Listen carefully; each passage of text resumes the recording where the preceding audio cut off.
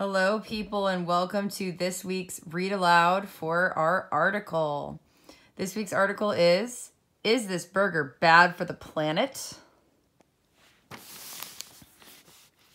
Cars and factories get most of the blame for polluting Earth. But should you also be paying attention to the food on your plate? Burp. It takes about 300 million cows to produce all the beef humans eat in a year. Wow, that's a huge number. Picture this. A car and a herd of cows stand next to each other on a farm. Let's say the car is a pickup truck. It uses five gallons of gas just driving to the mall and back. It spits out smoke wherever it goes. The cows, on the other hand, are doing what cows do. They stand around in a big green field. They eat grass. They moo. Which does more damage to the planet, the car, or the cows? The answer might surprise you. Earth is warming at a dangerous rate. It's a process called climate change. Cars and factories cause a lot of the problem. But scientists say that other industries, we know that that word here, industries, because it's bolded, you can find the definition in our little box here. So industries, here's our, here's our word, means groups of businesses that provide a particular product or service. Okay. That industries also play a big role. And animal agriculture, agriculture meaning the science or job of farming. Agriculture is one of them. A gas problem. How can a cow pollute the environment? It's all about gas. Right now, climate change is happening because we produce gases, mostly by burning fuels like oil and coal. Those gases are called greenhouse gases. They collect in Earth's atmosphere. That's another big word. Atmosphere means the mixture of gases surrounding Earth or another planet and trap the sun's heat close to the planet's surface. This is called the greenhouse effect. It's an important term, so I'm going to highlight that as well. Cows contribute, and contribute, of course, means to help or cause something to happen. Cows contribute to the problem in two ways. First, they burp a lot, and that is not a joke. When cows eat grass, their stomachs produce a gas called methane. A typical cow makes about 220 pounds of methane a year. When cows burp, all that gas goes into the atmosphere. It adds to the greenhouse effect. That's not the only way cows add to climate change. It takes a lot of grass to feed a herd of cows. To create grasslands, forests must be cut down.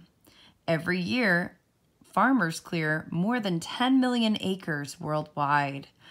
That's an area bigger than the state of Maryland. The trees in those forests contain a gas called carbon dioxide. When they are cut down, that gas is released into the atmosphere. Cutting back on cows. Cows aren't the only farm animal hurting the planet.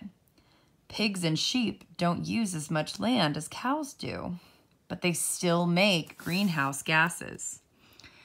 Animal agriculture produces about 15% of the greenhouse gases in our atmosphere. Scientists are working on a solution to the problem. Changing what farm animals eat could make them burp less. But some scientists say that what we really need is fewer cows. Americans eat a lot of beef, about 74 million pounds a day. At any given time, there are more than 1 billion cows being raised for food worldwide. That's why activists like 18 year old Nadia Nazar are urging people to stop eating meat.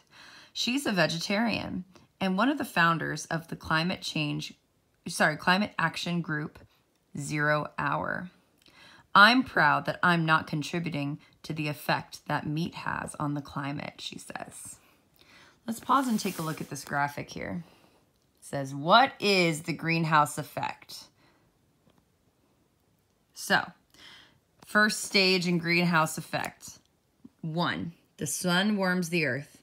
Some of that heat is reflected back into Earth's atmosphere and the layer of air that surrounds Earth. So we've start off with the sun warming the earth here, heat reflected back. Number two, harmful gases are released when we burn fuel, cut down trees, and raise farm animals. So there's all the pollution from that. And then number three, these gases trap heat in the atmosphere, making Earth warmer. So because it's trapped in here, that raises the temperature. So that's the greenhouse effect. Now back to what um, Nadia suggested about wanting people to eat less meat. Eating less meat. But you don't have to give up steak in order to help the planet. The World Resources Institute, WRI, is a research group that is working to protect Earth. It just wants us to cut our meat eating in half. For most people, that means six burgers a month instead of 12. if you're trying to eat less meat, it may be getting easier. Thousands of schools across the country don't serve meat on Mondays. Some fast food restaurants are adding vegan foods to their menus. It's another one of our vocab words. We can look back and see the true definition of that. Vegan, not having anything that comes from animals, such as meat, eggs, or dairy. So that's like another step above being a vegetarian, right? You're not even eating animal products. So adding vegan food to their menus. At Burger King, you can now order an Impossible Whopper. It's a burger made completely from plants. Does it taste exactly like a juicy hamburger? That's up for debate, but it's probably better for you and the planet. All right, so now that we've finished this, what you're going to do is answer the questions. So I've got your Google Classroom up here.